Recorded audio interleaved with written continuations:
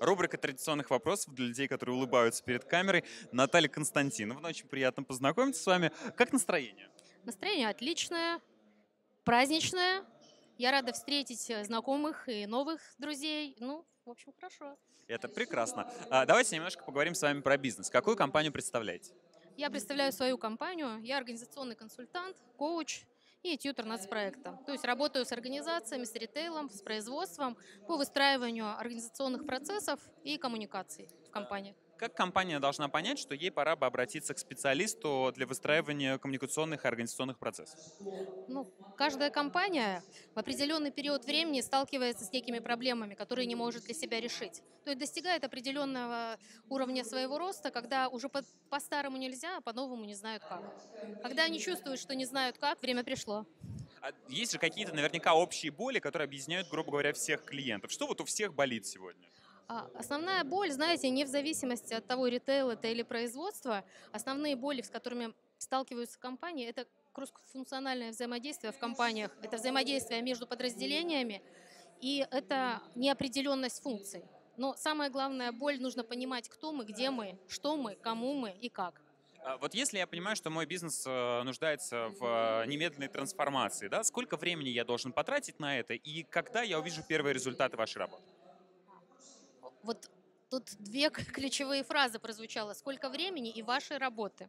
Сколько времени это сугубо индивидуально и зависит от специфики бизнеса и от тех параметров, в которых бизнес находится, и к той э, э, идеальной картине, к которой он хочет прийти, и каким путем он к этому пойдет. И вашей работы, это не работа оргконсультанта, это работа оргконсультанта создать определенные условия для того, чтобы компания сделала этот э, качественный шаг вперед.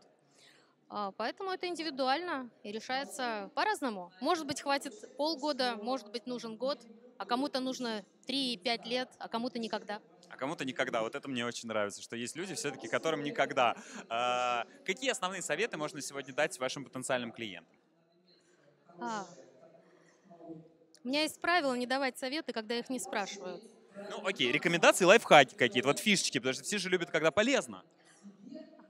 Помните о том, кто вы и для чего вы. Если говорить о бизнесе и о человеке, то есть организация, по сути, напоминает организм, который может страдать и болеть, и нужно всегда чувствовать и осознавать, где вы находитесь, чтобы сделать следующий шаг. Сначала осознайте, а потом делайте первый шаг.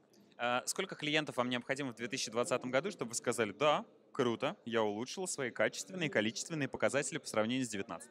А, смотря что смотреть, а, по- подразумевать под клиентами, если это организация и команды, а, то, ну, если это крупный проект, то это два проекта одновременно. Если это средний проект, то это порядка трех-пяти проектов. Ну и также мои личные консультации с кли- клиентами, которыми я работаю, как правило, это от 10 до 15 клиентов.